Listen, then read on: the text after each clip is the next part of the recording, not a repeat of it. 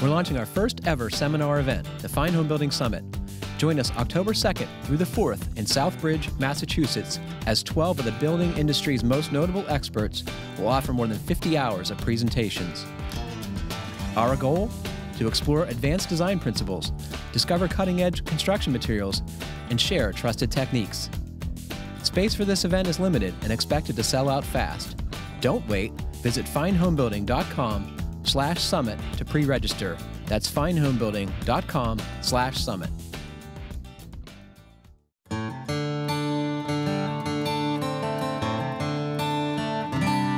But I mean, a, a plate compactor, the one that I looked up, was like 163 pounds. Two you could guys can drive carry that, right inside. through the living room. You can, you yeah, but you can. Two people can carry that right through the living room, no problem. As easy as they can carry. Gotta put that across the two by hardwoods. tens. Yeah. Wear your booties.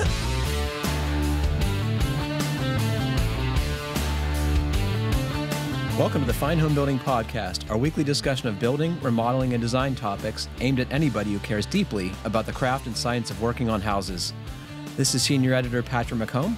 I'm joined by Kiley Jacques, Design Editor, Deputy Editor Matt Millham, What up? and producer Jeff Rose. Hello. Please email us your questions to fhbpodcast at taunton.com. You can find previous podcasts and check out the show notes at finehomebuilding.com slash podcast. So, guys, we had some listener feedback on a couple of recent discussions. Our uh, moss on roofs uh, chat got some a few people to chime in that they had similar experiences to yours, where they had to remove moss. It's always And- surprising to me what people get excited to talk about. It's just because they had to pay money for it. Right. That is Like, really what money gets, gets, people excited. that gets glad- people's attention yeah. for sure. That's right. That's true. Uh, Bob from Home Remodeling Pros, which is in Annapolis, Maryland, wrote, he said, had moss on a roof once. An insurance company told me the concern was that the moss roots may penetrate shingles and create a leak. he says, I have no idea what the likelihood of this happening is. Yeah. I can guarantee the insurance company probably really doesn't know anything about houses. The actuaries or whoever is coming up with these like harebrained don't- explanations yeah. probably don't really know what they're talking about is my guess. So if there are any As- biologists out there who actually know about is moss damaging to building materials, roofing specifically, we would love to hear from you because I wouldn't doubt that it does something, but roots? my give me a break. Moss don't. Yeah, they don't. my experience is mosses like don't have a lot of is roots. like it does per pull se. off the granules, but I thought that was related to physically Move- removing yeah, the yeah, moss, right. which is mechanically attached to the Right. I, I And mean, like if you left it there, would it really be damaging? I don't know. I don't know either. I'm sure it's doing something. It- I mean, some of those things like lichen and whatever, they can kind of eat away at materials. You know, whatever Sure. it is in the biologic process creates some sort of acid. I don't know if moss does the same kind of thing or not. And does it move on a rolling roof? Does it grow on a rolling roof? I'm gonna go home. Yeah, build a round house, like the kind of like that Mars movie where it just kind of rotates and you just kind of like walk around the outside of it. I'm The gonna end. go home and rip a shingle off and see what's going on on the back side of it. Yeah, Oh, no, that's a good idea. no roots. I Take can a few. it. You want a sample. so maybe there's a uh, roofing manufacturer out there who listens to this. Um, if you have any knowledge of what moss does to roof shingles, uh, once again, we'd love to hear from you. Uh, Doug wrote in, uh, just finished watching the latest podcast when you guys got to the discussion of old schoolhouses and speculated. So you were mentioning that you lived in a schoolhouse uh, at, at a period, and you talked about how cold it was. Yeah, And so the question was, uh, I asked, did did some was it some student's job to come and light the fire in the wood stove? And this gentleman says, um, my mom taught country school. A country school, I love it. For a couple of years in the 30s. One year, she had her youngest brother as an eighth grade student. Their father made her brother go to early to build the fire and help clean. It's something he complained about to his dying day. I can believe it. Yeah, yeah. And the the schoolhouse that I lived in, it probably only served like one, two, maybe three families. And I mean, because there are schoolhouses all over that county, little tiny schoolhouses. And I mean, the kids had to be able to walk there. And the farms are big. I mean, like hundreds of acres at least. Most of them were probably dairies at the time. How do you think of, like three families could afford to pay a teacher in that time period? I mean, that's that's kind of crazy. Big families. I don't know. that doesn't boost your earning power. And in fact, I'd say it, it harms it. Yeah, and I don't know if the I don't you know, know, exactly. farm families though. It's like, You're like Yeah. work. Yeah. You have workers, right? Yeah, so I don't know exactly how it was all being paid for, subsidized, because this particular house that I lived in um, was probably built in like the 1920s or so, maybe even later than that. It had a, a map from I think 19 The 1920s? Yeah, it had a it, like it had an old map uh, from like pre-Nazi era, like 1930s. Mm-hmm. Um, but I think that may have been original. But yeah, I mean, it, it was still on a dirt road. I mean, that road that I lived on still is not paved. it's Are a lot a of very those, rural Are a lot of those old schoolhouses now houses? They are in Vermont. They are, yeah, they're either small houses or a bunch of them are abandoned. Some have been Right. turned into little museums and things like that. Yep. Yeah. Towns often end up with them as museums, and Mm-hmm. oftentimes they're moved to town greens and stuff. Yeah, there's another little schoolhouse that's been turned into a museum right near me. They have all these kinds of things. They have like a pumpkin chucking competition, I think. I'm going to try to get to. I've always wanted to go to one of those. Do you know what Yeah. this is? I can picture what it is. I've not been to one. right no. now, there's a gigantic trebuchet parked outside of And this then they one room use school. the trebuchet or cannons to fire pumpkins. Oh, okay, It I looks didn't like, picture that. It looks like great fun. yeah. Patrick. that does not surprise me that that's of interest to you. And, and mostly men are involved. Mm-hmm. yes. Single that much I would guess. Mostly single men. You know. single or soon to be single. Rob was telling me that he went to um, a bachelor engineer's uh, estate sale. Um, this man had just died recently, and the, he was describing the collection of tools and train collectibles and stuff that this guy had, including a, a library that covered his four walls in his office, floor to ceiling, with books on every like engineering topic known to man, from like building bridges to like wire rope and heating and air conditioning design, and it was just like What did Rob buy? Uh, he bought some tools. I wanted to buy the Bridgeport, but it was actually we theorized that the guy had taken part of his basement wall down to bring it into the basement. Hmm. You know what a Bridgeport is? It's a milling machine. It's used in machine machinists use it to make metal stuff. Um, That guy That's was, a really inadequate Yeah. uh, description, isn't it? A little bit, but I have no Do you idea. wanna what try it is. better? I have no idea what it is. So it's a three-axis mill. It's like a lathe, but the the head also moves. Okay. well, it's not like a lathe because the work stays stationary, but the cutting tool can move in three axes around this piece of metal. Or Okay. it's the precursor of the CNC. yeah, have you used it's- one? no, So why'd you want it? Because they're awesome. I don't think it's hard to use. I think it's hard to know how to use it. And hard to move. moving is definitely Yeah. hard. Yeah, this thing looked like it weighs thousands of pounds. Hmm. The good ones do. I would take your word for it. Yeah, I, I had to pass on that, unfortunately. You've been busy. Yeah. What do you like? Masonry. Turns out I'm not the master mason that I believed myself to be. Well, it's it's hard. Somehow I thought I would just innately be really good at it, and I am not. but I can ex- excavate fieldstone like nobody's business. Where did you? So you you sent us a picture of your the stone. Where did it come from? So at the very tail end of the wall, it was an existing wall that I was repairing, and at the tail end of it, it took this weird curve back toward the house, which I fixed. This is this is not the curve I'm referring to. I created that curve.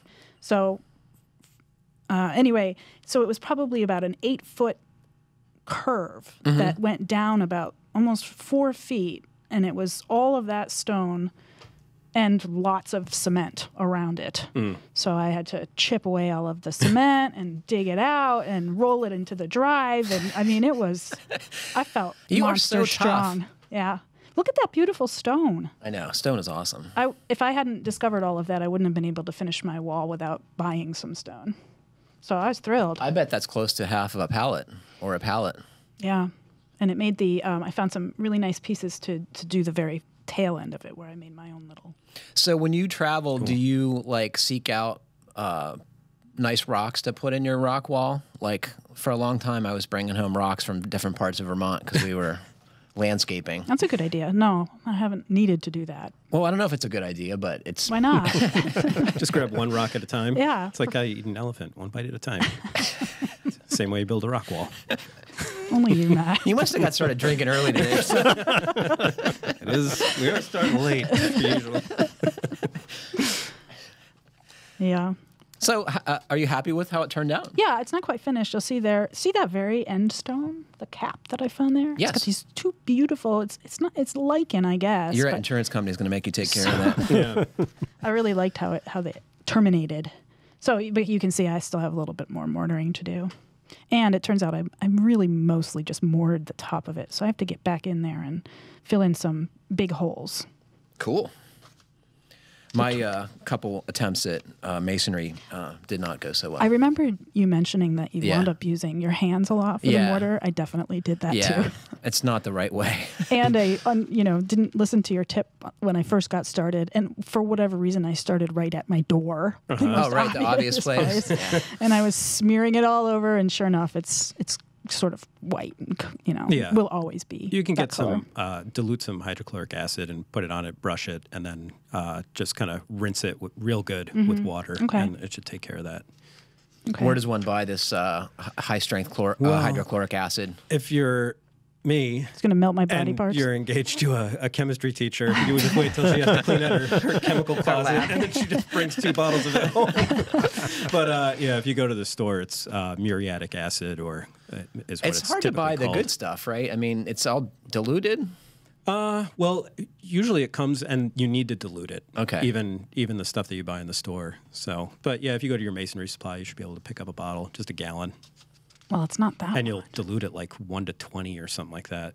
Be careful with it because it looks like water. well, Yeah. also it would. I don't want to get it on the mortar that I want to keep, right? I mean, I'm- you have to Uh, be pretty no, delicate it'll, with it. It'll be fine. It just goes after yeah. thin, you thin just layers. you only leave it on for like less than a minute. I mean, you, you kind of brush it on, I see. brush the areas that are yeah. kind of like stained that you want to get the stain off of, and then immediately rinse it off. Okay. Yeah. All right. What's next on the agenda besides finishing the wall? Finding a land surveyor. Right. Can't find one. Nobody will call me back. Why is heck? that so difficult? I don't know. it's just your like- approach. Nobody likes that neighborhood, maybe. Apparently, it is a complicated situation. I've stopped telling people that though. I All wouldn't say- tell them All I say is I need a Yeah. residential survey done. Can you do it? Yeah. And What's your response. address? Floodbridge Road. They start looking into it. Yeah. Actually, I was telling Matt that I, I would like to try doing a little bit of drywall repair. Oh yeah. Yeah, I've got some places that That need is it. definitely something one needs and to he have. just did a in- mastered in a minute. So I, I watched that and I thought I can do that. I know I can. So I will, and then I'll come back with the results. And like the worst case scenario with a lot of that stuff is just you just sand it all off and start yeah. over You again. keep, Right. Just keep working at it. Yeah. I might try a little piece in the closet just to see how it goes. yeah. I was drywalling last night, and uh, it is something you get better at, but I don't do it often enough to get really good at it. Uh, I'm terrible at it, and I I'm not a fan of it. Right. Like of the work. I mean, like I love going to watch Myron do it because he makes it look so, So easy, and then I get excited. Yes. And I think I'm going to go home and do the same thing. I just have and to do what Myron it. did. Yeah. And then it ends up looking like dog meat every time. Like, what kind of repairs are you doing? Like ripping out a ceiling Okay, and that's not replacing what it. this yeah. is. Or Okay. like a big hole in a ceiling. Okay. Yeah. Like when I ripped down the wall between two bedrooms and had to like patch that all in. It It was kind of a weird shape because there was mm-hmm. a, a closet in each room, mm-hmm. and then part of it was just wall, and so I ended up with this yeah, sort of like shaped like the number nine almost in the ceiling. That does That's sound hard to- that's hard to yeah. hide. And I, yeah, so it was a little. I got to tell you, there are like three things that I would say that really improved my drywall finishing. And number one is you have to bend your finishing knives, not your taping knife, but the wider knives, just slightly, and you that and you put the the hump up over nail holes, and you kind of use it the other way on inside corners, and uh, it really really improves the quality of finish. Yeah. And Myron taught me that. and I've tried to do that. I remember seeing him I, like it, long before I even came here, uh, like at JLC, seeing him do that, and I was like, yeah, that seems like a good idea. I, I don't know, it still hasn't. You have to do me. it for it to work. yeah, no, and I've tried. I've tried bending the knives, and like I've got a slight curve in there, Uh-huh. but it's still. I'm just like, am I pushing too hard?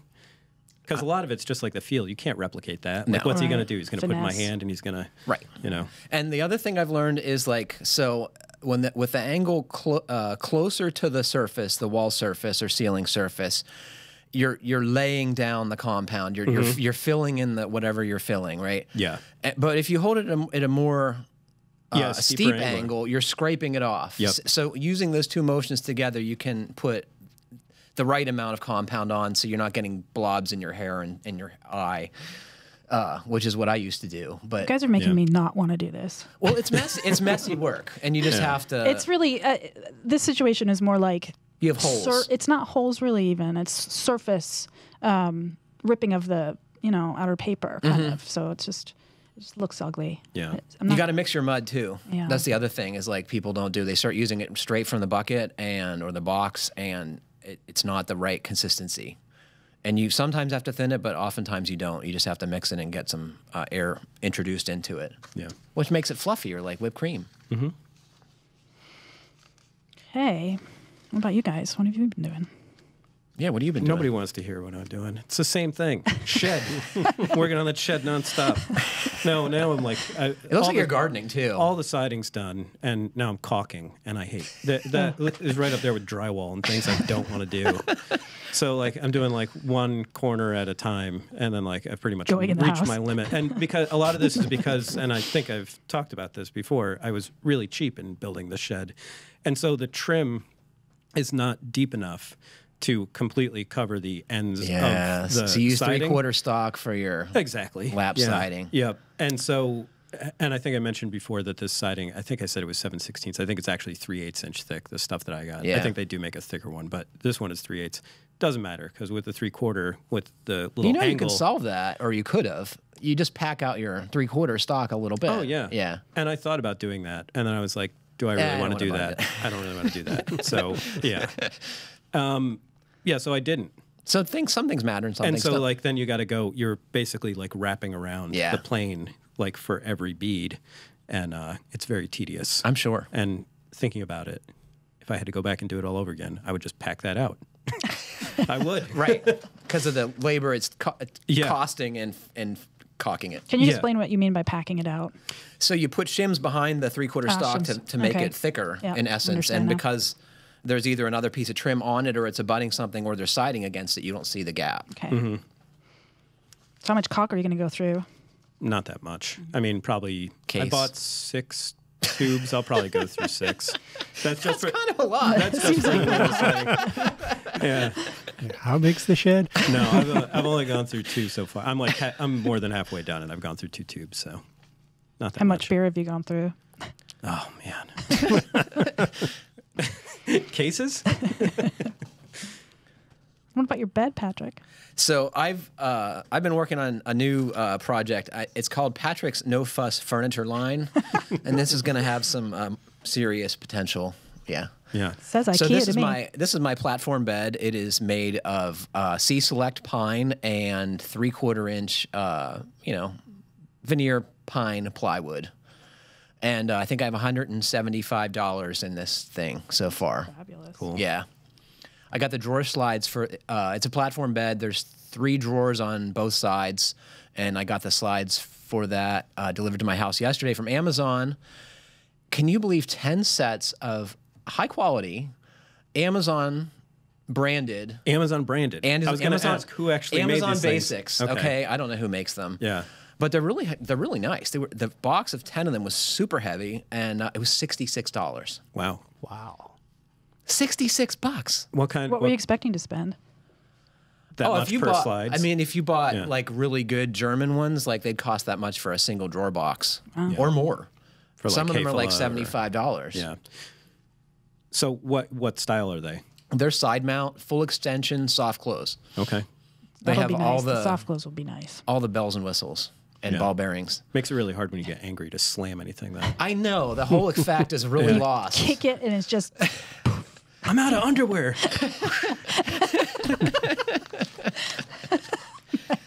One of the things that really gets my goat is slamming of doors and drawers anyway. So Yeah. like I don't I don't do it. My dad lost his mind on me one day when I was a teenager for slamming doors. So Oh, yeah. I don't do it.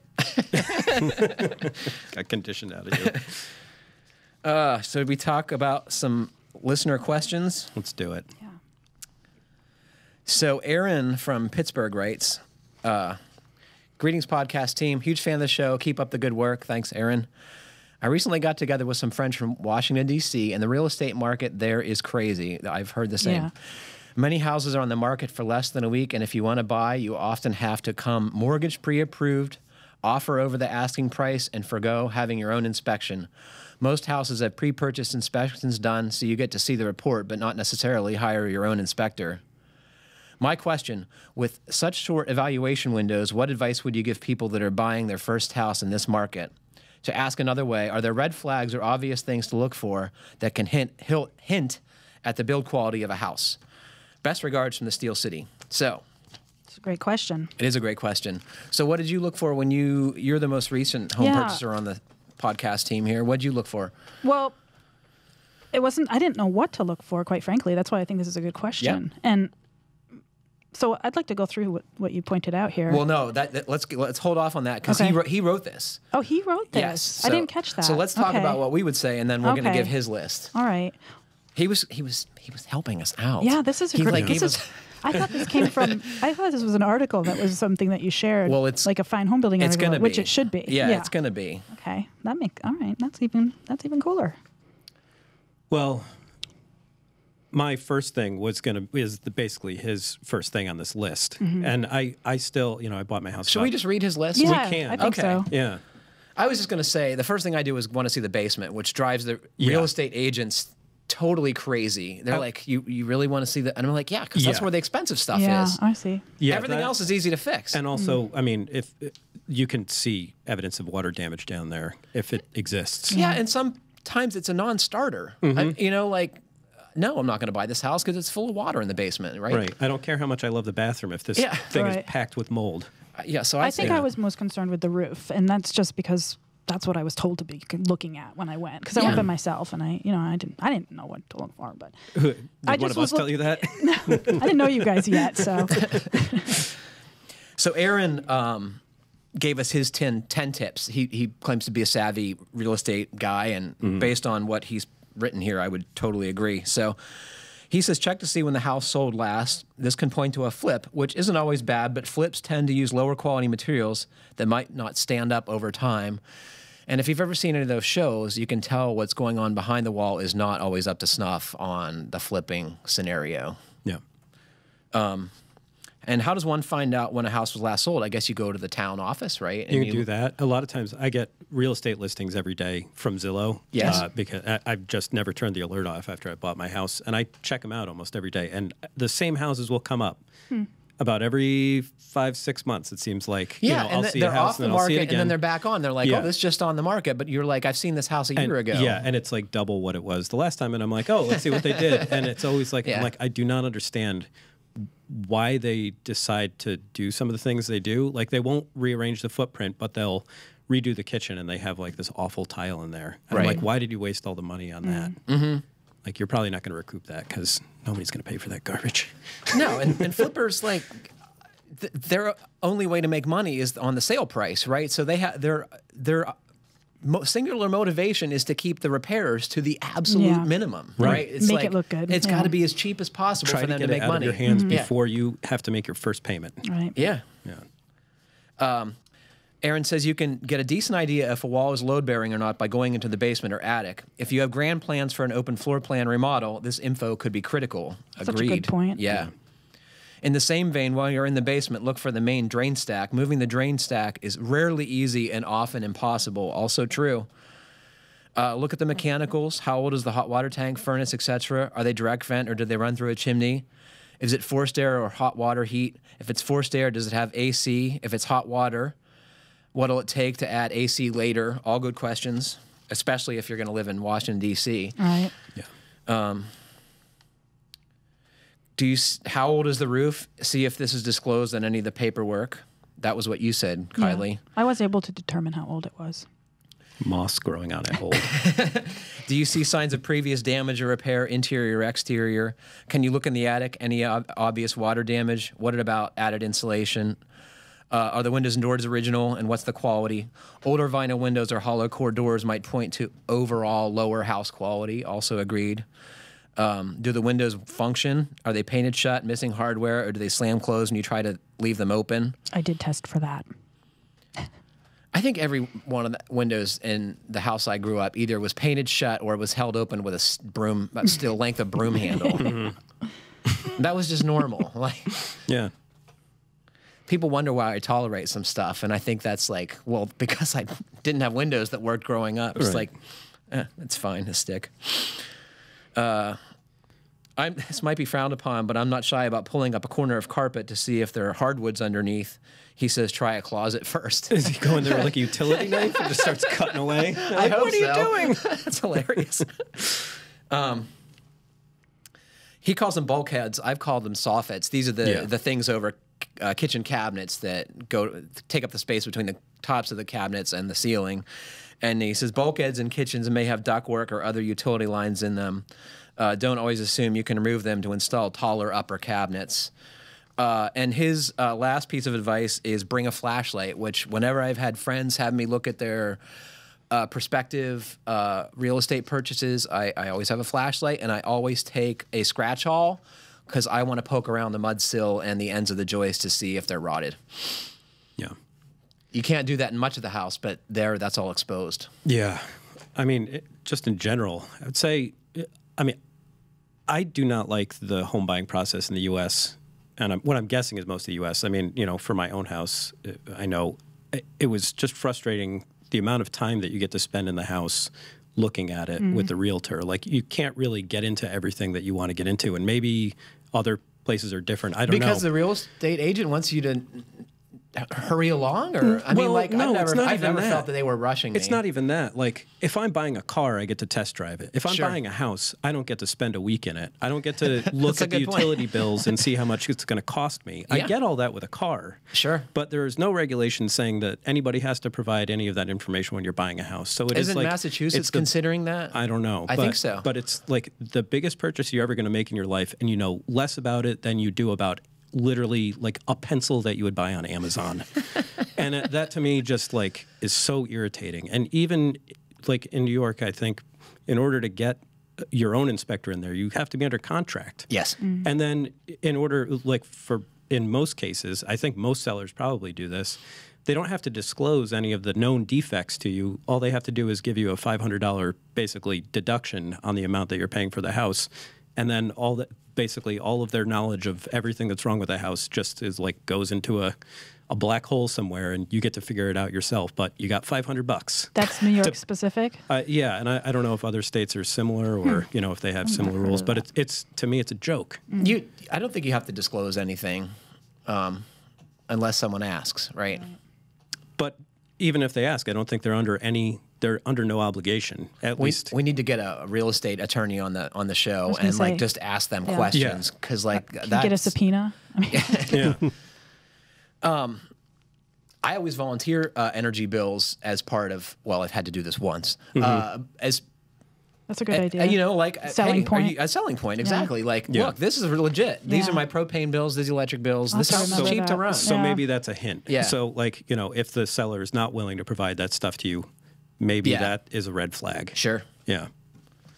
I love the idea of looking for uh, atmospherically vented uh, combustion appliances, either oil or gas, that go into a masonry or s- steel chimney. Uh, that's inevitably going to be a problem if you're going to stay in the house for any period of time. I can guarantee it. sort of unrelated, but one of the things that you do during that time frame when you know the house is being inspected is to get your air quality and radon testing, water quality testing done. Is that something that would not allow time for that? I was concerned about that. I wanted to know. Usually it does as part of the process after you're already under contract. Yeah. At Okay. least that's been my experience. Before see. closing, that stuff has to be resolved. Okay. And I know Connecticut and Vermont both required us to have our water tested uh, before uh, closing on the real estate deal. Yeah. And um, Vermont required a radon test, but I don't remember Connecticut requiring that. Yeah, I, we requested one. I know in New York, and I, it was not part of the inspection process on its own. We had to pay extra for that. So Uh, It was do you such a remember what? whirlwind when I did it. I can't remember the order of things. I just remember when my housing inspector was there, I was also doing that. So I, you know, yeah, My salt box about real estate transactions are the relationships between home inspectors and agents, which Yes. everyone says it's on the up and up, but I wondered about that too. I can't imagine it's on the up and up. I mean, eh, they, they both have a, an interest in seeing each other get this deal done. exactly. done. Right. Yeah. Yeah. You don't want to be the home inspector who kills a deal, and you know it- you you need referrals from real estate agents to stay in business. Like it just seems like a very shady relationship. Mm-hmm. Yep. And they've been a lot of them have been working together for years. I mean, it's like they've got each other's backs, right? They're Yeah, Yeah, like- I think exactly that's the what Feeding and each like, other. Of course, the agent is going to recommend the person who's not going to be a problem, right? exactly. It's Right. like yeah. The one who's going to get them their commission yeah, the fastest. Mm-hmm. It's just human nature. Uh, that was great. Thanks um, very much for that. What was his name? Aaron. Mm-hmm. Thanks, Aaron. Uh, Tony from upstate New York writes A good customer of mine is looking for a quote to replace a deck in these photos. Easy, right? Wrong. the deck is at ground level. It has PT decking on top of 16 inch uncenter pressure treated joists. I think the joists are buried in the ground. So, if you guys are listening, could see this photo, you would see that the deck boards look like they are at the level of the grass, which means that they are probably two or three inches above the soil. Yeah, with the framing completely Underground. Underground. Yeah. Um, Super on grade. Uh, he says, surprisingly, it's held up pretty decently after 20 or 30 years. This is a townhome, so getting access to the back here for concrete or pavers is out of the budget slash question. We don't have the height to come up at all either because the patio door is so low, right? And the new deck is going to extend out further to the corner of the house. I'm thinking of tearing out the old deck, hand digging, digging down a few inches, landscape fabric, tamped crushed stone, two by sleepers or joist, uh, space 12 inches on center, and then uh, top those with composite decking. What would you guys do? I would first ask, what do you mean you can't get pavers That's what I, in I was there? going to say. This is screaming for a you patio. can, you well, you can get framing lumber in there, but you can't get pavers in there. Yeah. What kind of like? Matt's on a I- I, tirade I don't today. understand. Like, no, I was just. so We're going to start recording in the afternoon from now Well, on. not only that, but the the cost issue. Like the pavers would be so much less expensive Yeah. than the deck. I So I, can't just don't but- understand. Like the whole premise of the question needs to be. I can't help but think that that's the right answer, too. Yeah. Yeah. Is- And even though I'm not a fan of patios, Matt and I just Yeah. argued over Yeah. patios versus decks. There's a nice throwdown story about that. But I think his yeah, idea is, patio. is the best scenario f- for doing it the half baked way. right? I mean like yeah, that's that's the way you have to do it if you want to use wood framing to build this. Yeah. And if the client only has a few hundred dollars or a few a thousand even, like I don't know what else you're going to do. Like cuz you're going to have to bring in subgrade materials for a paver patio, right? Yeah, but you can bring in bags of gravel Mm-hmm. and bags of sand. You can carry that right through the house if access is a problem. It's going to be a lot easier to do that than it is going to be to drag 16 foot two by tens or whatever. Well, I don't know that that's true. I mean, because like he's going to have to get rid of native material to make room for this subgrade, right? Like, you know, so that's going to have to go back out of the house. is he Yeah, saying that But he can only probably redistribute it back there. We don't know that he has to take it out. Yeah. is the only access point through the house? I didn't I catch no that. idea, I just thought I- he thought it was you know maybe narrow access. or Well, that's what I didn't Can really get a truck back there. Yeah. But I mean, a, a plate compactor, the one that I looked up was like 163 pounds. Two you could guys can drive carry that, right inside. through the living room. You can, you yeah. Well, you can. Two people can carry that right through the living room, no problem. As easy as they can carry. gotta a put that bunch across of the two by hardwoods. Yeah, Wear your booties. I had a wacky idea. do it. So, um, a little tiny connecting deck, say three by four or a couple steps leading from the patio, and then raise the deck. It's going to be higher than the bottom of the door, but at least you're getting the framing out of the dirt. It might let, look wacky though, as the uh, there's the risk. He's going to be digging all of those footings down four feet by hand back there. I mean, it would be easier to just dig out by hand if, it, if a shovel is the only option than to like just to dig down, you know, six eight inches for that patio. I've done a lot of piers, and it's it is a lot of work. I don't know if I would say it's more work than like moving, you know, What cubic about those yards pin of piers? topsoil. What about those pin piers we were But talking about? he can't get them back there. Why Probably. not? Those came. Those come apart. They're Yeah. Well, If you could get the jackhammer and everything That- for the house, that's easy enough. the helical pier rig that I'm familiar with too will like fit through a 36 inch door. They just mm-hmm. put down plywood on the flooring and drive it right into the building. Yeah. I've actually seen my friend do like work in kitchens, right, Yeah. to put a pier in for a, a undergird or whatever. You know what I mean? Does that do those work well in soil that has huge rocks in it? It can be a problem depending on how big. Because I mean, I live in upstate New York. Yeah, I don't. And I think I there's some places it wouldn't work. Yeah, I have very low, very shallow bedrock, and above that, I have boulders and all kinds of gigantic rocks. I think you just build on rocks in those cases, right? yeah, and I have come across that in other projects where we just You just stopped pin because to you it. hit refusal, and, and we just put the footing right on top Yeah. of the yeah, and we just pinned it. Maybe when this guy starts digging, he'll find some building materials that he can work with. Mm. I don't know that composite decking is the right choice. Uh, I mean, I've seen it get really moldy, and if it gets mm. if it's this close to the ground, I think that might even be a worse choice than pressure treated. Just lay that AZEK right on the dirt. Don't even build the rest of the frame. Throw some plywood down. Just throw some gravel down, run a plate compactor over it, get it nice and flat. You are on down. fire today. He must um, really. Um, he's very dedicated to this client. It Yeah. sounds like he's gonna. yeah, and if a client says, "I'm not going to do a paver patio or a concrete patio," like w- what what do you do? Do you just say, "Well, like I'm not going to work for you," or do you like try and accommodate them? I think it's it's a good question.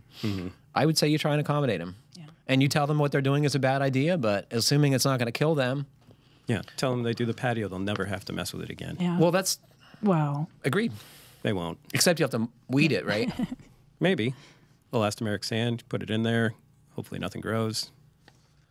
Throw some Does Roundup that on work? it. No. No. See, I told you. I have no idea. I've never seen Could stuff mortar growing it. up in there. Maybe then it would work. Yeah, no, then you'd One, uh, really mess it up. An, an uh, additional point for this question uh, is our, comes from our friend Mike Guertin, our ed, uh, Fine Homebuilding editorial advisor. Um, he points out that the original PT lasted so long because it was probably preserved with CCA, Mm-hmm. uh, copper chromanate, Quaternary, maybe. arsenate. Yeah. Arsenic essentially was probably Right. the, it one was of the, the, good stuff, Yeah. as we say in the business. Um, the newer ground t- contact ACQ doesn't last as long. And Yeah, to reinforce this point, I was watching a carpenter bee like drill holes in my pressure treated uh, bench I built a few years ago. Just like it was cedar. Mm-hmm. It didn't seem to affect this bee at all. And I, is it's, it's not supposed to work that way, right? Huh. Probably not. What do you think? Is like I, I'm out of my realm. I don't know. we really need a biologist on staff. Is it bug resistant? Is that what, is it supposed to be? Is that part of pressure treated? right. It's like supposed to not be eaten by termites and carpenter ants anyway. I thought at least mold was like the main thing. The I new stuff, I don't know if like it does anything. Yeah. I mean, it, it's definitely not as good. It's definitely heavy and Wet. inconsistent thickness, inconsistently thickness and width. So if you're going to build a deck, what would you use? Probably still PT. Okay. Yeah. See, cheap. It's cheap. Yeah. It does a cheap. pretty good job. Yeah. It's fine. I just stained my deck, and it's always surprising to me how thirsty it is when I stain it. Just you know, sucks it right up. So what is your preferred uh, product to put on there? I don't really have a preferred product. I bought I bought something that was suggested, and that's what I went with, and I'm happy with it. It did, you get change the Olympic? tint, yeah, Yeah. but I changed the tint of it. Yeah. I So he wasn't- told you what to get? Yeah, what, remind me what Yeah. the It was, I had, I, con- I subscribed to uh, Consumer Reports and I picked their top pick. And that's what I recommended. It was the Olympic, I can't remember, Superior or something like I that. I can't remember either. I can't even remember the name of it. Just used it three weeks ago. I wonder how they still test that stuff. I don't know. There's But it's a, it, it's a, it's, whatever. an, It's, a solid stain. It's an oil Right, solid. penetrating stain, right? solid. Yeah. Like you can't see the wood Right. through it. I would say like that's the way to go. Yeah. Latex seems sharp. terrible like on it. decks. Yeah. Uh, this is John from Dayton, Ohio. My wife and I are considering building a house for ourselves and our two teenage daughters near Dayton. We're curious what is the absolute lowest price per square foot we can expect for a professionally built home. One thousand dollars. I don't know. It depends so much on where you're at, right? Like, Depends on where you're labor. at, what you mean by professional. I mean, What do you mean by about like a Kia and a Bentley are both made by professionals, but like one is always going to cost less than the other. A Right. manufactured home is professionally built, but Yeah. I mean the price He's- per square I foot. think what he's saying is like uh, that I'm not building myself, right? Okay. That someone I'm paying someone to do. yeah, Someone. So the absolute Someone. cheapest house that somebody who knows something about the codes can build for you Right. in Dayton. No idea, but I, did look up their housing prices out there, and they were Cheap. remarkably cheap. So what- what did you anything on see? the East Coast. Median was like in the fifties somewhere. What? Get out of For here. not for new builds, but just like for uh, for houses sold. I think in like the I'm last moving year. to freaking Moses, I was going to say I chose the Fifty wrong thousand state. dollars. something like that. What do you get for fifty thousand dollars? It depends on where you are. I mean, like if you're in like even, even if you're in like Syracuse, New York, you could probably get a decent house for thirty to fifty thousand dollars, maybe. No, I don't I don't believe this. I rarely disbelieve you.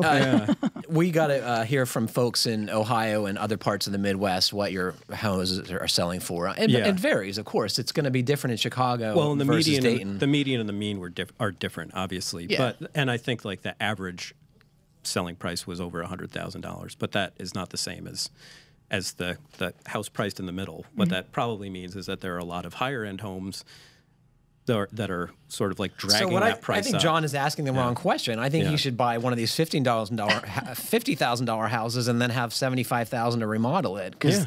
you're starting with uh, a sewer and septic infrastructure. You have water connected. You probably have gas or uh, uh, not, but you probably do, and you have electricity. These are all things that you don't have to pay for that you do on a new build. Yep. But um, some people want to live in a new home. So recently, it's coincidental. I had a conversation with uh, my friend. That is crazy, Matt. He's showing me a, a, a Zillow graphic. Yeah. I'm moving anyway, to sorry. Dayton. Just keep moving. I'm on. moving to Dayton. Um, so he's he's building um, a house for a, a family, and uh, it has a block foundation, and and the and the idea was to make this as affordable for them as possible. And the the house, keep in mind, the house had uh, city services. It has water and sewer, so that immediately lowers the cost, right? I mean, you have to pay hookups and you have to run the pipe, but it's way cheaper to do that than to install the whole on-site septic system, which in his area is probably twenty thousand dollars because of the clay soils. But anyway, so he's got a block foundation, uh, a clear span I joist floor system. It's a single story with two by six walls, spaced 24 inches on center. It's got a 412 energy truss roof. Um, and it's going to have vinyl siding and laminate flooring. And he's going to build this for 100 bucks a square foot to them. So I, I don't think you could build much cheaper than that. Or, I mean, you wouldn't want to live in something that was cheaper than that. It's probably going to have vinyl windows. So I think the very minimum, uh, John, to answer your question, is uh, hundred bucks a square foot, excluding all the site work and um, the well and a septic system if you need it. I think it's probably better if you live in one of these communities or close to that you can get a house for fifty thousand dollars. That's the min- medium. The the let's see, what did it say? the median listing price right now in Dayton is fifty. No, what was it? Sixty-seven thousand dollars median listing price, and there's a bunch of houses here: forty-nine thousand nine hundred, fifty thousand, fifty thousand seven hundred, all of which are much larger than my current house and your I current can't house. get my I can't get my head around that. I can't either. I mean, obviously wages are lower uh, in areas where housing is more affordable, um, but that seems cheap. yeah. I mean, you could get a 2,311 square foot, three bed, two bath house for $50,000 right now. How old is that? I don't know. Yeah, It- what's the housing stock like? How? Yeah, how old is I'm guessing it's uh, turn of the century and newer. That's a nice That- house. Yeah. Looks like a nice house. We'll throw that up on the webpage. Anybody wants to buy? It's uh, Do we get to 230 Otterbein Avenue, Dayton, Ohio. Do we get to split the commission with the listing agent? yeah.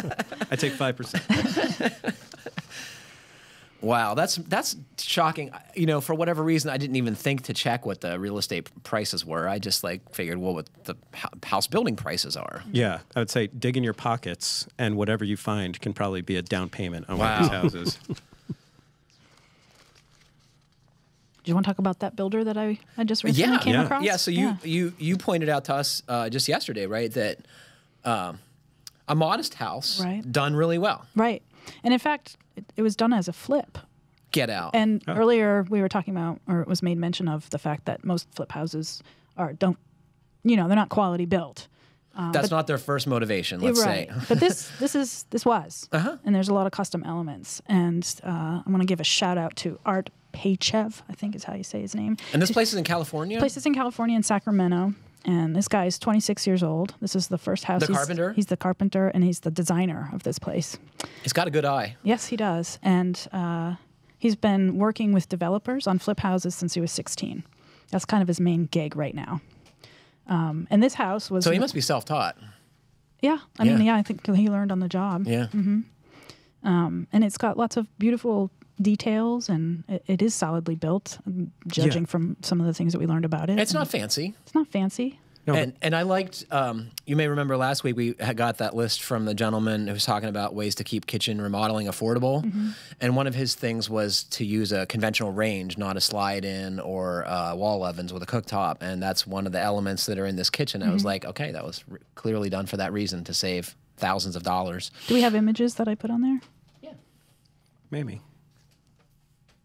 Yeah, S- Yeah. sweet and simple Yeah. i like those little awnings on the side too Yeah, the guy. It- touch. it- he just seems to have a good eye. yeah and it, absolutely. it just I mean, it is like really that's clean really and beautiful nice. and it was a remodel and the it was a mess he had to take out just about well he took out three walls and opened it all up like that It looks like it's only a few hundred square feet, like a lot it's of like uh, 1800 modest. yeah, Uh, 1800 square feet i think it's eighteen hundred. about that yeah Oh wow, it's way bigger than I thought. oh really Yeah, I'm, i wow. think that's what he said I thought Bigger eight. than my check. house. I thought about eight hundred. and I like this story. So tell us this story. Yeah. So what we're looking at, for those of you who can't see it, is a, um, a hardwood countertop, and it's Mm-hmm. got this like kind of like lined decorative element on the corner. right. Like some of the lines run, pattern. yeah, or go diagonal to the corner, and then some like project from that. Right. And uh, what's the story behind that? He said it was the end of a long day. He was tired, and somehow he thought it would be a good idea to use a circular saw to cut some plywood On top of the on counter. top of the counter. and he made one cut, and then he stood back and he thought, "Well, I might as well make ten more." It looks And great. everybody does- comments on It it. does not look like a mistake. no, yeah, I, I love that story. I think that, you know, when I was in grade school and, and had an art project, the worst thing the artist, our teacher could say to me is like, you could do whatever you want. I'm like, I don't want whatever I want. I want some constraints. I want, I want a problem to solve. And uh, I think some of the best design comes from fixing mistakes. Yeah. Yeah. It doesn't work as well with laminate countertops, but So that was a ninety thousand dollar house, and he said that most of that went into the HVAC system: new insulation, new plumbing, new electrical framing. blah, blah, blah. and he also said that didn't include his backyard work, wages. So that was that wages. was the material cost. Right, right, right. But it's a good but looking still, little house. it's a nice house, and it, Yeah. we should point out that the neighborhood that it's in is not Dayton, Ohio. I mean, it's, Right. it's a very desirable. like, You Yes. know, it, it, What's wrong with Dayton? Oh yeah, I, I don't mean to say that. It's just you know, I take that you're back. not wrong. Yeah. I've never been. Have I been to Dayton? Once Yeah. or twice. My brother lives in Dayton. Yeah. I got the feeling that it's a very walkable community. Are you laughing because I've never been to Dayton and my brother lives there? That's what I'm laughing at. He's fine. Okay.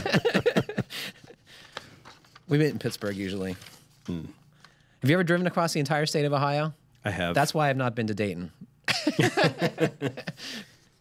I'll say I drive across across the northern part. I guess. Been to, yeah, It's long and Cleveland. flat. Yeah. It's very flat. Southern Ohio is kind of hilly, but um, not the parts I've been in. Cincinnati. Been there. That's in a cool city. I like Cleveland too. Uh, we have one more question, right? Hey guys, love the podcast. My name is Mike Schaefer. I'm a geometry and construction teacher at Hoffman Estates High School in Hoffman Estates, Illinois. We are a surrounding suburb of Chicago. We currently have two sections of the class running with approximately 50 students. I always read and hear about the huge labor shortage for the trades in Illinois, but many companies and contractors do not know about the good things we're doing at our school to encourage construction. I have two questions for you. What are the, some of the ways I could reach out to companies or contractors to talk about our program? Also, I'm looking to partner with a company to build and auction off some kind of structure or a tiny home to help build funding and support for our program. Do you know of any companies or contractors that would like to create a partnership with our program? Well, so the first thing I thought, Mike, was if we read this on Yeah. the podcast that some. Social media, people yeah. Might reach out to you. Um, short of that, I actually did a story a few years ago uh, about um, it's on uh, Cape Cod. It's the Home Builders and Remodelers Association of Cape Cod, and they uh, developed this group called Emerging Leaders in response to the fact that young tradespeople weren't staying on the Cape for work. So, because they can't afford to live there. right. Well, Not everybody can part, dig an underground bunker and live Right. in that 10 by 10. Yeah, but they We host- should talk yeah. what Matt's talking about. what? So I showed him a story that my uh, former colleague John Vara wrote for the Journal of Light Construction about uh, a man who was working on Martha's Vineyard and who dug a hole in the ground at a Boy Scout camp and lived in it. And it wasn't as horrible as you might imagine. It had paneled walls and it actually had light wells and he had a wood stove in there. And um, because of the high cost of housing, like he worked as a carpenter and lived in this bunker to make ends meet Right. And he did it for years. Yeah. Until someone stumbled upon his flue pipe, and they're like, "What is this about?" And he got kicked out. Yep. He's very probably still living there somewhere else. I'm, is Yeah. my guess. But anyway, trade associations. Okay, Yeah, so well- That's a I big don't know how that got on, but Yeah. So they host a residential construction career day that introduces students or young and young people to professionals in in the industry. And I was thinking this guy might be able to organize something along those lines on a smaller scale in his region, just using. I mean, he must be he must have a network of his own, lots of professionals to kind of connect young people to you know uh, potential employers, you know, and and vice versa, people looking to hire. Yeah. Um, I- you know, and that would, you know, the, and, then, you and you have to ask locally, right? Exactly, that's where you having come from the nonprofit world in a previous life. Um, uh, the people who are close to your community Yeah. are the ones to ask first, right? Exactly. They have a stake in improving the community and seeing that the kids are educated and uh, contributing members of society. That's so right. I And maybe would like go host a local. com- absolutely. That's And what I think. It's all. Yeah, go ahead. Alumni. Yeah, totally. Like, reach out to the people who have graduated from your program Yeah. and are successful. yeah. and ask them if they have any, you know, can come and talk to them or whatever it is or that you're trying to get them to do. Yeah, give Yeah. money, all kinds of things. And I know- Donate equipment. I, mean, like these guys may have like a lull laying around or something like that they can give you. I'll be honest, I was surprised at the in kind donations we would get at the Pittsburgh Habitat for Humanity. And uh, oftentimes it only took asking. In fact, I called up Lynn Ladder one day and like asked for a bunch of ladders, and they're like, okay. Mm-hmm. They sent them on their truck. And I mean, it's good for their business to, to, to help, I believe. Sponsorships. A- And it's also a great tax write off. yeah, that's true. So, I mean, it's not always altruism, but it is beneficial to all the parties involved. Mm-hmm. Yep. Could also do some community projects with the students or make it part of the curriculum and get some Visibility is local huge. press. Yeah, Like, and you- also just make some videos of the students doing their projects, right, Yeah. and doing their work and get it on social media. and- Uh, yeah, as long as it's good. yeah, What does your school do to help get the word out? all kinds of stuff. I mean, they they did have or were developing and now have a relationship with the New York State uh, Builders Association. And Is that all the kinds of union? Other things. Um, uh, no, it's like just a collection of people who are into building. Mm-hmm. Who I don't know if they pay dues, but they kind of get together and just talk about building. And I think there's some sort of like a code component. You know, like they're interested in either having things in the code or not in the code, and so they're you know probably lobbying. Yeah. yeah, lobbying the legislature to make sure that you know Sprinklers sprinklers are not required in you know like every single home when Right. you are on a well and there's absolutely no way it can keep up with it but you know that's something that keeps coming up I wonder if that'll ever get put into the code.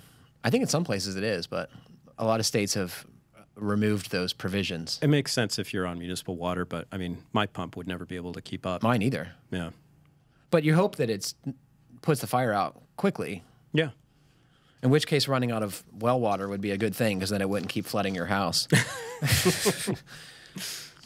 Um, do you think this this school must have a board, right? How active are they in getting the word out? I would I would go yeah, to them. that too. But actually, I mean, also, uh, when I said alumni because the school also did have like an alumni. Uh, I don't know if it's an association or what, but they were they are there is a board Mm-hmm. that there are a bunch of alumni members on, and I mean they to some extent I think steer the direction that the curriculum is going. and you need to help them and steer in the right yeah, direction. and so I mean the school is engaged with those people who are like actually out there, and Mm-hmm. you know, so they can teach the things that these people need. That's right. The um, edu- the carpentry education program in, in my high school built a uh, modular home every year. It was usually like a, a double wide, you know, two modules, and they would just auction that off to the general public. Yeah. So I mean, that's another option. Is just like if you can get the stuff, just build it, and then Yeah. And it doesn't need to be that big. I mean, it could be garden sheds or something. yeah. Yeah. Well, or he- fancy dog houses I've seen uh, vocational pro- programs do. Yeah. Or playhouses. Because you like have to do all the same things in a playhouse that you do in a normal house, just smaller, which seems like a great way to teach people carpentry skills without using all the resources to build a full size house. Yeah. Which is probably why he wants to build this tiny house. Yeah, I suspect. Um, I just got a couple things that uh, someone sent to me. Oh, this was I actually got on the uh, Building Knowledge Facebook uh, page that I follow, and I'm friends with a bunch of the people on there. But uh, this came from uh, MSNBC, or excuse me, MSN.com. Aspiring professional plumbers in Texas may soon no longer need to pass exams before entering the trade or adhere to regulations after lawmakers failed to extend the life of the state agency that oversees plumbers and the state plumbing code. That's, this agency is set to uh, sunset on September 1st. That's great. So apparently, there's a huge uh, shortage of plumbers in the state of Texas owing to the flooding and uh, severe storms and the i- incredible uh, amount of residential construction that is in Texas. And I've seen firsthand. Me It's like insane. It's insane. So, in order to solve this problem, they're going to stop licensing plumbers. That seems like an excellent Is that idea. really what's going on, or they're Yeah. just like having a hard time trying to get the legislation through? Well, so they, to they want to transfer the um, regulating of the plumbing trade to another state agency. And um, I want to read what one of the lawmakers said. Um, I'll first read what exactly happened. Uh, the Texas State Board of Plumbing Examiners, the agency that regulates and licenses plumbers, was due for a so-called sunset process, a legislative review in which lawmakers decide on whether to continue running such state entities. During the review, lawmakers failed twice to agree on a bill which would have allowed the agency to continue running, as reported by the Texas Tribune. Um, the Senate Bill 621, 621 sought to reassign the roles and responsibilities of the agency to the Texas Department of Licensing and Regulation, a larger agency that also oversees dozens of professions. Roger Wakefield, master plumber and owner of Texas Green Plumbing in Richardson, said the industry is now essentially completely unregulated and could result in a surge of unqualified workers. That's Scary. This is what one. Um, what this is what he said. Uh, We're going to put the safety of our homeowners and the public of Texas in jeopardy. Wakefield told the Tribune. Plumbers install medical gas. They install the potable drinking water that we have every day. If they're not doing it right, people's safety is at risk. One of the legislator who was, Why do you in, think it's so funny? it's not funny. it's terrible, right? It's terrible. one of the legislators who was questioning the, the sanity of uh, doing this was like, "Oh, that's great. We've just solved the plumbing problem by making everyone in the state of Texas plumbers." essentially. You only need to know three things, right? Who goes downhill? Payday is Friday. Don't chew your fingernails. It's. So, like, of all the trades to decide not to regulate, this one is really baffling to me. Yeah. I mean, I bet there's a bunch of municipalities out there, though, that don't have any kind of plumbing inspections already. I'm sure that's true, but I mean, if the state of Texas is at least requiring you to be licensed, you would assume that there is a certain amount of knowledge that they, Hmm. that you know, a certain amount degree of. You don't agree? I, I don't know, just because in a lot of states, all you have to do is pay for the license. You don't have to pr- prove Take any kind of competency. Yeah. Really? Yeah. I would not have thought that. Yeah. Where I was building in Pittsburgh and Allegheny County had some of the most strict uh, plumbing regulations uh, in the Mm-hmm. country. Uh, it was not easy to be a plumber there. I mean, it was, and then I think that's good. Yeah. right. I like Yeah. you have to know what you're doing. Mm-hmm. Yeah. But I don't think that's, it's not universal. Fortunately, you don't have to be licensed to be a magazine editor. Yeah. None of us would be here. Somebody else uh, sent me this, and we'll put it up on the podcast page. But it was, um, you guys probably haven't seen this, but chch.com, which I think is a Canadian television station, had some footage of uh, a person, I'm going to assume it was a guy, um, driving I down Was it always stupid? assume that. a provincial highway, like this six lane highway with Oh, I two see. by fours sticking out his back doors. Like he laid yeah. them across the back seat and had the doors open and he's driving down the street like this. And Unbelievable. it's hilarious. So That's if you want to laugh, check that out on our podcast page. Do you guys have anything? no, I think I said my piece. I'm going to throw my pencil just like Dave Letterman. Call this thing. Ah, my eye. Wonder if he still does that. At his house? yeah, no, he's got a. No, he's got a show. Or is it a podcast? I don't know. I think it's it's like what is it? HBO? I don't know. Netflix, I don't think anyone watches it. Prime. Is it I haven't stand up? watched it. No, it's a. No, it's like interviews. It's with like Oh, his, okay. his old people. show. Yeah. Do you ever do stand up? Well, he did the monologue at the beginning. Okay. You mean like as a Before Like, that, yeah. comedian? I don't right, know. right. For some reason, I before my always. time. Yeah, me too. I never really. You're lying. no, Dave and I, are the I same remember age. when he We was went to high on at school 11 in the morning.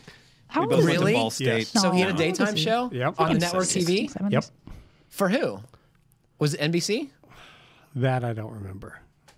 Didn't Jim Gaffigan have a show that was kind of like based on Letterman's life or something like that? I'm He's totally the off base, uh, I'm sure. heavy set comic. Yeah, a little bit. Pale guy, pale dad. Does he do right? The dad guy. Yeah. Yeah. Who lives with his family in like a Manhattan apartment Something and like his that, five yeah. kids or something. Yeah. Yeah, he's hilarious. What does that have to do with this? Just that he had, I think he had a show that I think was loosely based on Letterman's life at some point. Really? I think so. I think they're both Indiana boys. We'll have to look into that. Yeah. Well, unfortunately, that is. I'm just going to get away. well, unfortunately, that is all the time we have for today. Thanks to Matt, Kiley, and Jeff for joining me. And thanks to all of you for listening. Remember to send us your questions to fhbpodcast at taunton.com. And please send us some questions. We were kind of thin um, this time, but they were good. But we didn't have a lot to choose from. Fortunately, they were good. I particularly like the questions where we get a story out of it. We've had two now that since I've been on. So, what was the your favorite here? The- all of the tips for what to look for when you Buy a uh, house. buy a house. So you, you think our their comment content is better than ours for sure? I think we, I- I, I think we can true. absolutely work with this guy. And please comment uh, or like us, however you're listening, even dislike us, whatever. It helps other folks find our podcast. Thank you all for listening. Keep craft alive and happy building.